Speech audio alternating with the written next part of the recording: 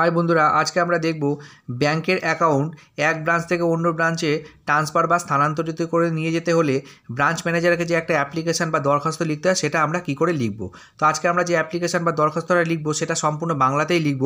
তো ভিডিওটা শুরু করার আগে যারা এখনও পর্যন্ত আমার চ্যানেলকে সাবস্ক্রাইব করেনি তারা অবশ্যই সাবস্ক্রাইব করুন এবং বেল নোটিফিকেশনটা অবশ্যই প্রেস করুন যাতে পরবর্তী যত আপডেট নিয়ে আসব সবার আগে আপনাদের কাছে পৌঁছায়। তো চলুন দেখে নিই আমরা কী করে লিখব।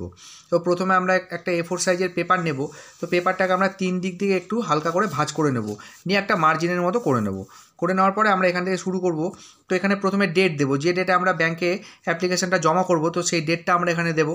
তারপরে দেব to the branch manager to the branch manager লেখার পরে আমি এখানে দেখুন ইউনিয়ন ব্যাঙ্ক অফ ইন্ডিয়া এবং সোদপুর লিখেছি। মানে ব্যাংকের নাম এবং ব্রাঞ্চ লিখেছি। তো আমি আপনাদের দেখানোর জন্য একটা ব্যাংকের নাম এবং ব্রাঞ্চ লিখে রেখেছি। আপনাদের যে ব্যাংকে অ্যাকাউন্ট আছে, আপনারা সেই ব্যাংকের নাম এখানে দেবেন এবং সেই ব্রাঞ্চটা আপনারা এখানে দেবেন।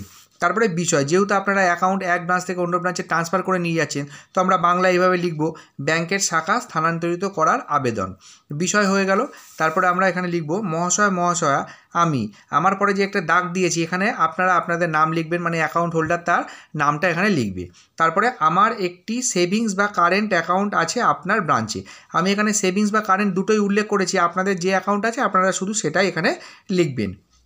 তারপরে লিখবেন আমার অ্যাকাউন্ট নাম্বার এই যে দাগটা দিয়েছি এখানে, দাগের পরিবর্তে আপনারা আপনাদের অ্যাকাউন্ট নাম্বারটা লিখে দেবেন।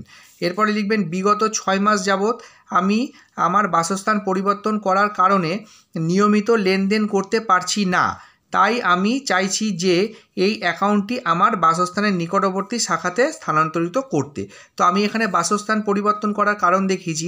আপনারা যে কারণে আপনাদের অ্যাকাউন্টটা এক ব্রাঞ্চ থেকে অন্য ব্রাঞ্চে নিয়ে যেতে চাইছেন, আপনারা সেই কারণটা এখানে লিখবেন।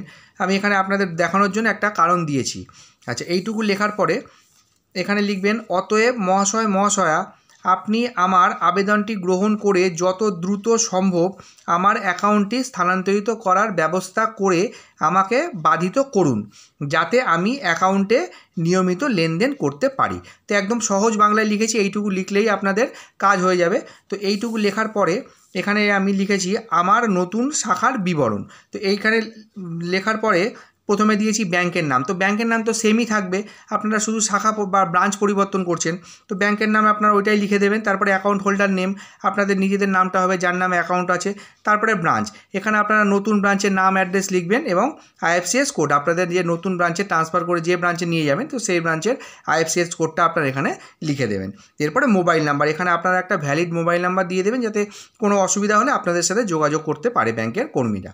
এইটুকু হয়ে গেল। এবার ধন্যবাদ আনতে এখানে আপনারা আপনাদের সিগনেচার করে দেবেন। মানে যে সাইনে আপনাদের অ্যাকাউন্ট অ্যাকাউন্ট আছে, অ্যাকাউন্টে যে সাইন আছে মানে অ্যাকাউন্ট হোল্ডার এখানে সাইন করবে, আর যারা সাইন করতে পারবে না, একটা টিপছাপ বা থাম ইমপ্রেশন দেবে। তো এইটুকু মোটামুটি আপনাদের লিখলে আপনাদের ব্যাংকের অ্যাপ্লিকেশানটা হয়ে যাবে। তো এর সাথে আপনারা, আপনাদের যদি পুরনো চেকবুক পাসবুক বা এটিএম কার্ড থাকে, সেগুলো সাথে করে নিয়ে যাবেন এবং প্যান কার্ড ভোটের, ভোটার কার্ড আধার কার্ড এগুলো অরিজিনাল জেরক্স সবই নিয়ে যাবেন, যে, যেগুলো আপনারা ব্যাংকে চাবে, এই অ্যাপ্লিকেশনের সাথে আপনারা জমা দিয়ে দেবেন। তো এইটুকু হয়ে যাওয়ার পরে ধরুন, আমি আরও দু তিনটে কারণ লিখে রেখেছি। প্রথমে দেখুন, আমি লিখেছি চাকরি সূত্রে স্থান পরিবর্তন। অনেকে এরকম করে। মানে এক জায়গা থেকে চাকরি করতে করতে অন্য জায়গায় ট্রান্সফার হয়ে গেলো। সেক্ষেত্রে তারা ব্যাংকের অ্যাকাউন্ট অন্য জায়গায় নিয়ে যায়। আবার অনেক এরকমও করে রিটায়ার করার পরে তাদের স্যালারি অ্যাকাউন্টটা ছাড়তে চাইছে না। স্যালারি অ্যাকাউন্টটা বন্ধ না করে তারা তাদের নিজেদের এলাকার ব্রাঞ্চে সেটা ট্রান্সফার করে নিয়ে আসলো। আবার অনেক সময় হয় ধরুন কেউ এক জায়গা থেকে ভাড়া ছিল, সেখান থেকে উঠে অন্য জায়গায় গেল। সেক্ষেত্রেও তারা ব্যাংকের অ্যাকাউন্টে এক জায়গা থেকে অন্য জায়গায় ট্রান্সফার করে নিয়ে যায় তাদের এলাকার মধ্যে। তো বিভিন্ন রকম কারণ হয়। যেটা আপনাদের কারণ থাকবে, আপনারা সেই কারণটা অ্যাপ্লিকেশানে লিখবেন।